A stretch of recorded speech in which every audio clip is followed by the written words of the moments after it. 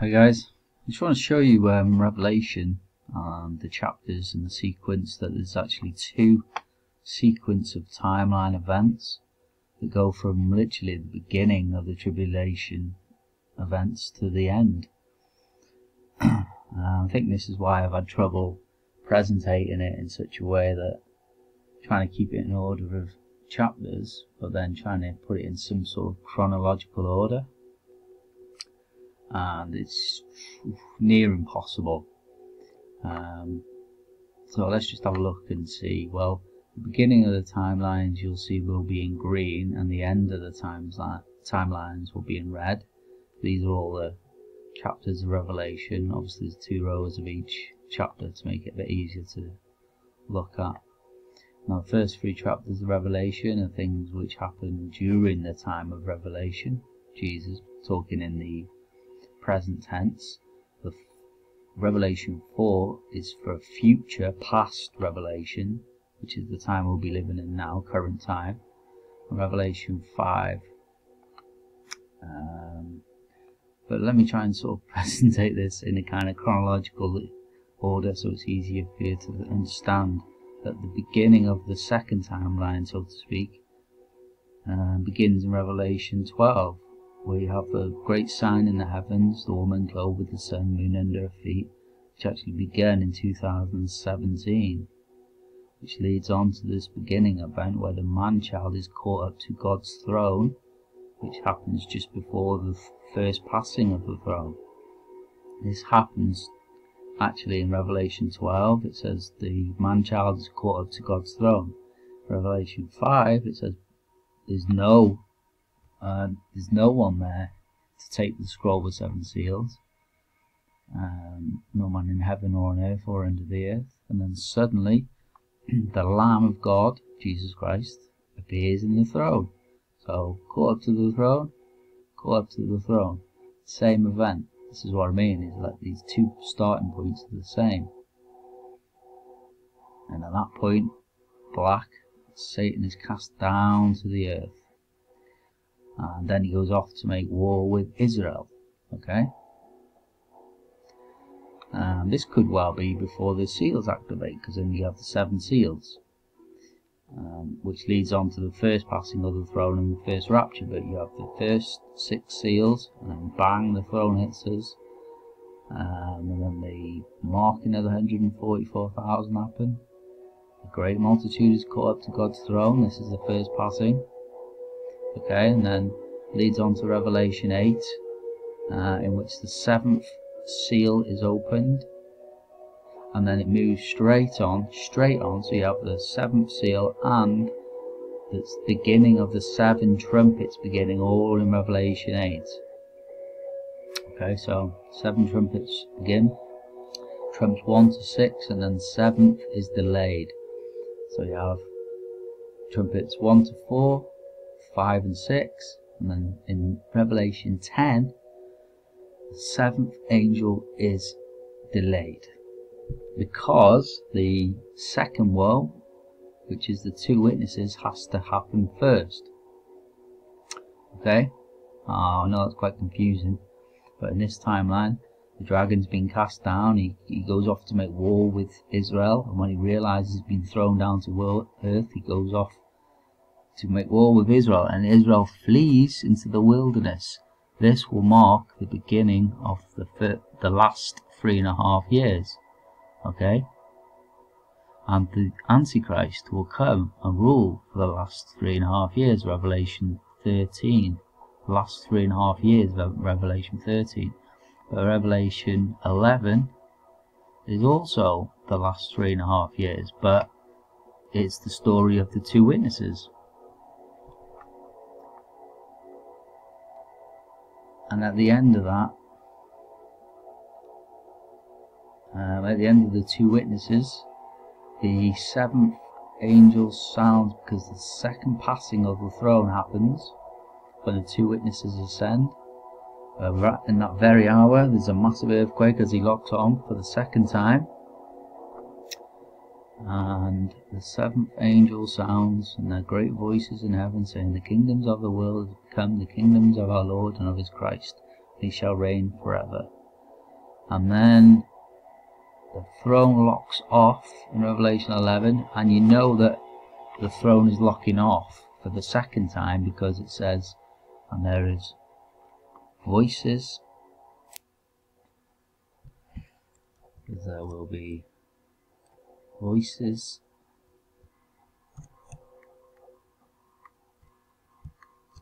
And thunders and lightnings and a great earthquake and it's followed by great hail as we pass through the inner tail that's how you know it's the second passing. And all that is mentioned in Revelation 11 but obviously 12 like I said this this all happens in line with this so sort of have in mind the bolster forward the trumpet judgments happen and then 11 the last three and a half years begins and so too does it happen in Revelation 13 so there and there boom. And at the end of them when they're finished you see 11 again Revelation 11 is coloured twice. Duplicate. The two things happen there and um, you have the two witnesses and then you have the second passing of the throne happening. Um, you have the Antichrist finishing his three and a half years, just like the two witnesses. Then you have the second passing of the throne happening. And it's given in much detail in Revelation 14. It talks about the catching up of the um, the two uh, the 144,000. Uh, it then talks about the great harvest of the earth. There we have uh, seventh angel sounding, lock on, seventh angel sounding, um, 144,000 be of the two witnesses also that ascend. Jesus comes and he reaps the harvest, the dead. The angel comes and he reaps the living, the fruits.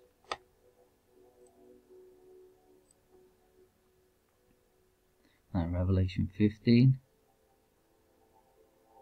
um, 3 to 16, the all judgments are poured out. And when they're finished, again voices and thunders and lightnings and a great earthquake. Uh, this all happens, Revelation 16, seven bowl judgments poured out.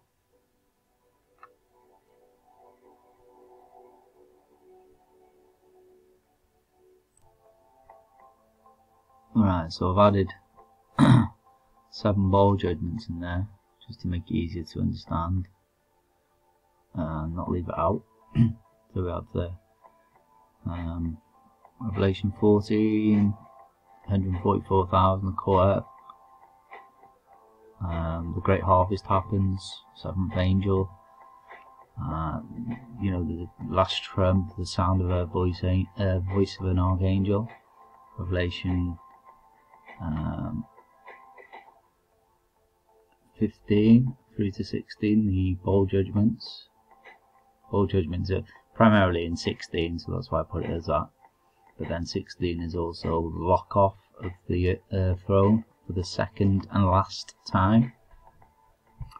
And there are voices and thunders and lightnings and an earthquake and great hail because we go through the inner tail of the throne of God.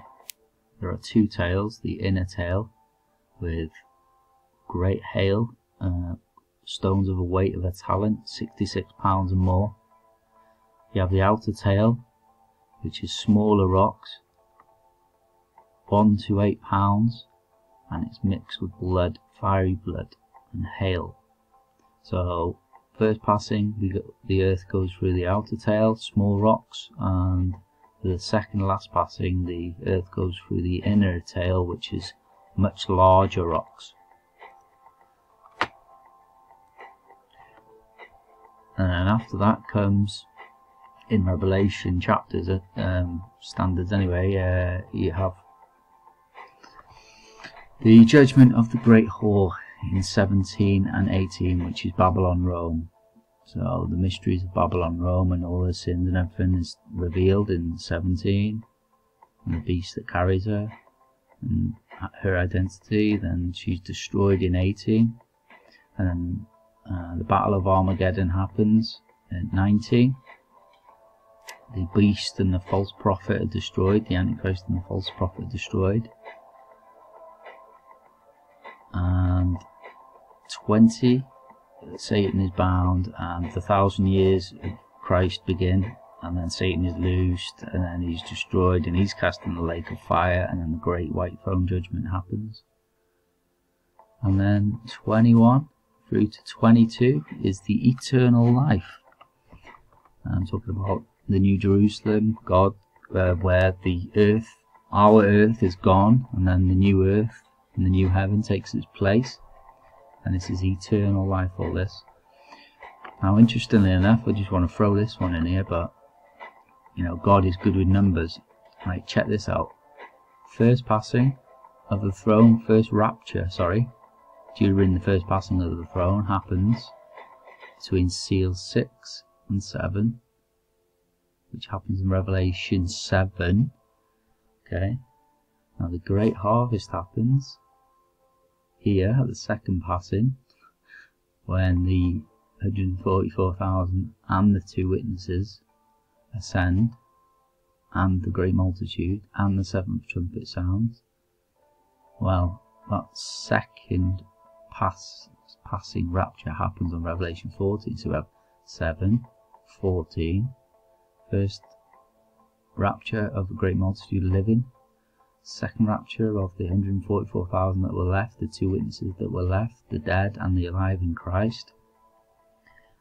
And then you have all these events, and then 21, which is again a seven on, seven chapters on, it talks about the eternal life. So we have salvation, 7, salvation of 4, and salvation of the eternal life in 21, 7, 14, 21. So I find that very easy. So it's just a case of how to presentate this is the real hassle. Obviously they all move and they'll fit in here when you understand it. But as a case of Revelation, do you go through Revelation as it is?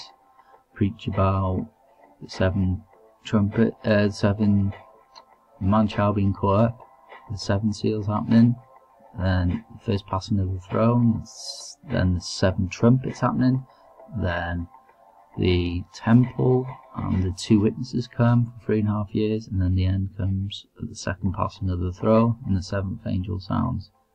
And then you move on and say Revelation 12, which has already begun in 2017, but when the man-child's caught up, it's the same event as back there.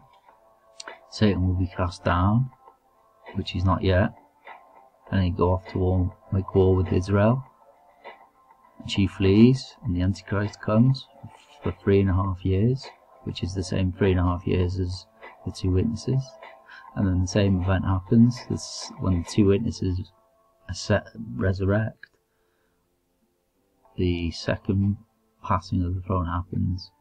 144,000 are gone, the dead and the living are gone, and then bowl judgment's poured out, and then that's the end of that, and then it's Armageddon time, destruction of Rome, Armageddon, and judgment and thousand year reign, thousand year reign and judgment, I mean, and then the eternal life. Or would you just take out all your slides and just do it in a chronological order and just say, Sign in the heavens happened in 2017. We're waiting on the man-child to be caught up to the throne. And when he does, that's fulfilled, that's fulfilled. That only happens until the angel cries out, Who is worthy to take the book with seven seals? And you, you know, the child's caught up, child's caught up.